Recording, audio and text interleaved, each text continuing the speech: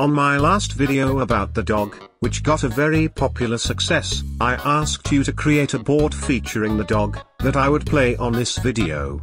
So I received some original propositions, maybe two original sometimes, but one more time, this is a board made by which got my attention.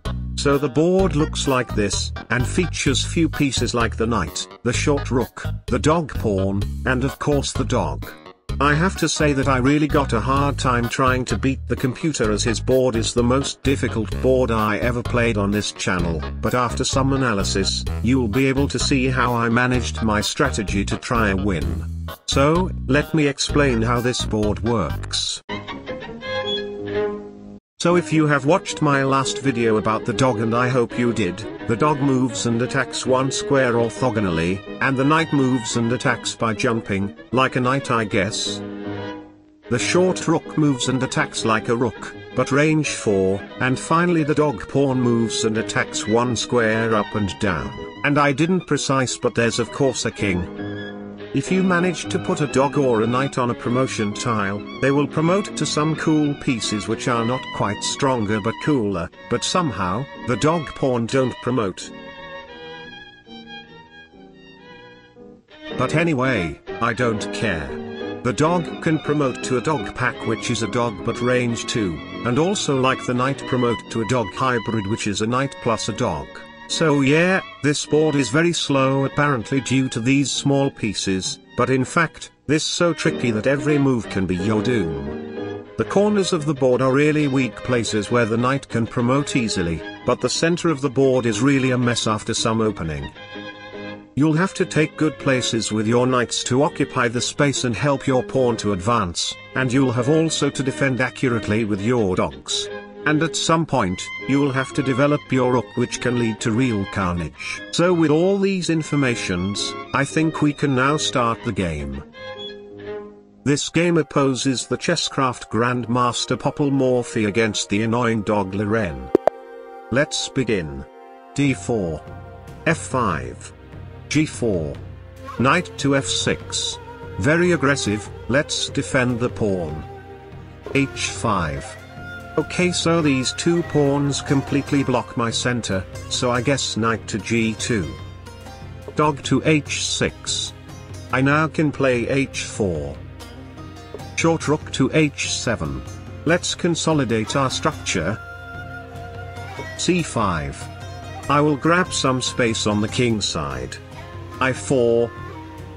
j5. Okay, let's bring the second knight into the battle. Dog pawn takes h4. I'll recapture with my dog. j6. Yes, I will now connect my dogs to get a stronger defense. e5. Dog 2 to h3. Dog to e6. Perfect. I will now set a trap to get a knight promotion, let's see if he sees it. Nope, he didn't see it, so here we go knight to k4, and as you see, he can't do anything against the double threat of promotion and taking his pawn. j4, nice try but I'll capture with my dog pawn. Short rook to i7, here I come. Knight to j6 promoting to an hybrid. Knight to h7, nice defense. Hybrid back to k4. g5.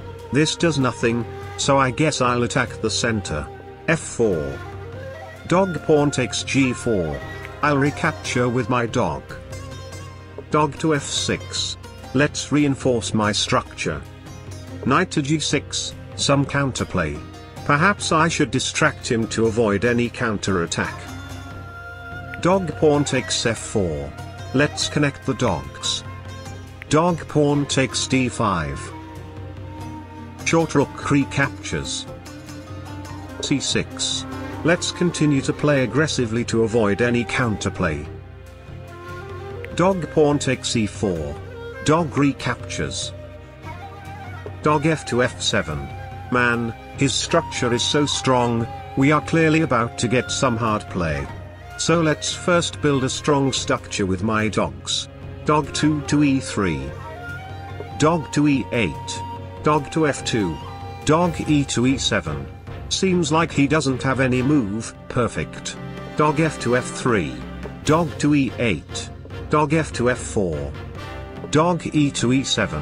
Okay here we go. Dog to g5. Knight to f8. Dog h to h5. Dog captures, dog recaptures. Dog g to g6. Let's reconnect. Dog f to g7.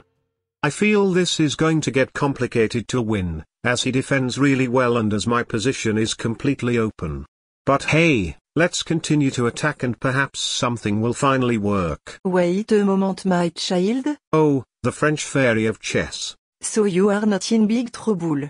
Yeah, in fact it seems like I'm winning actually, but this is not quite easy to deal with black's defense, but I'm sure I will find something to beat him. This sounds cool huh?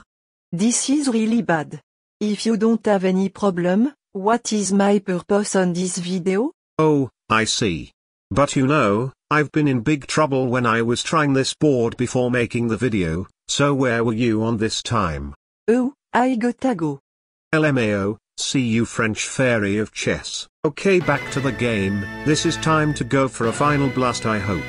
This is absolutely not the moment to blunder anything. Dog to e5. Dog captures, short rook recaptures. Dog e to e6. Nice defense, but I'll go short rook to d5. Dog g to f7. Dog e to e4. King to g7, why not? Dog to e5. King to h8, okay so he's out of moves. Let's add some pressure. Dog takes f5, dog recaptures. Dog f to f5. Okay, I may have a chance to disconnect his dogs if he retakes with the knight to threat my short rook. Ugh. Anyway, short rook to d6. Okay a mistake I guess, let's capture this pawn. King to g8. Okay, so my knight and my hybrid are doing absolutely nothing, so here we go with knight to f4. Dog f to g7. Maybe, I will challenge his knight to force an exchange, and then use my hybrid to play very aggressively as his other knight and his short rook are completely stuck. Let's see how he would reply. Oh he crashed, so this is for me a form of resign. Phew, finally a win. So, I guess, thank you for watching, and I'll see you in my next Abracadabra.